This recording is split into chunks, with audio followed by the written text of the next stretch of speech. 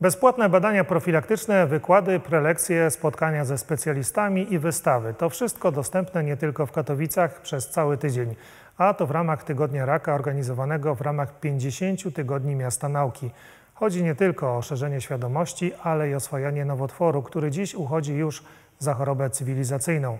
W Polsce rocznie rejestruje się ponad 126 tysięcy zachorowań na nowotwory złośliwe. Fatima Orlińska.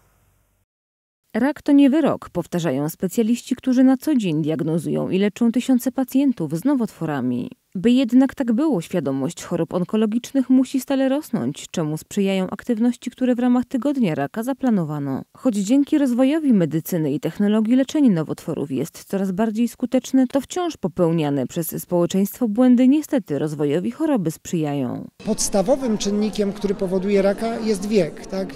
Rak to choroba komórek, które już się w pewien sposób zestarzały i zepsuły i im więcej mamy w społeczeństwie osób po 60 roku życia, tym większe jest ryzyko nowotworów. Drugim czynnikiem, potężnym czynnikiem jest to, jak żyjemy. To znaczy jest to, że cywilizacja, która wkroczyła w nasze codzienne życie, inne jedzenie, mniej ruchu, sytuacja zanieczyszczenia, na szczęście coraz czystsze mamy powietrze, ale niestety e, coraz gorszą dietę i coraz bardziej siedzący tryb życia. To są takie czynniki, które powodują, że organizm choruje. Chorują również dzieci. Niestety pośród nich to wciąż białaczka jest tym nowotworem, który wykrywany jest najczęściej. Pełen proces leczenia przebiega od dwóch do kilku lat, jak jednak mówią przedstawicielki fundacji pracującej na rzecz chorych onkologicznie dzieci. Dziś statystyki są bardziej optymistyczne niż jeszcze kilka lat wcześniej. W ramach Tygodnia Raka swoim wsparciem, ale i warsztatami służy też Fundacja Iskierka. Postawiliśmy na edukację dzieci, młodzieży i w najbliższy czwartek e, mamy dwa spotkania i z przedszkolakami, i z młodzieżą licealną. E, jeśli chodzi o dzieci przedszkolne,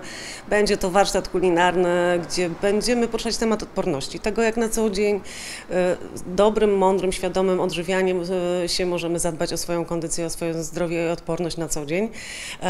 Następne spotkanie będzie dedykowane młodzieży licealnej, będzie dotyczyło empatii, czyli tego, jak towarzyszyć, jak wspierać osoby chore z naszego naszego najbliższego otoczenia. W ramach Tygodnia Raka zorganizowana zostanie również tak zwana Biała Sobota, podczas której każda z pań będzie mogła nieodpłatnie przebadać się, ale i zabrać ze sobą pana, ponieważ na mężczyzn będzie czekał urolog. Będzie też możliwość skorzystania z cytobusu, jeśli ktoś wybierze się na spacer w sobotę na rynek e, miasta. Będą też aktywności w ramach miasta Katowice, inne e, takie ich, przy okazji skorzystać i można sobie wykonać takie badanie.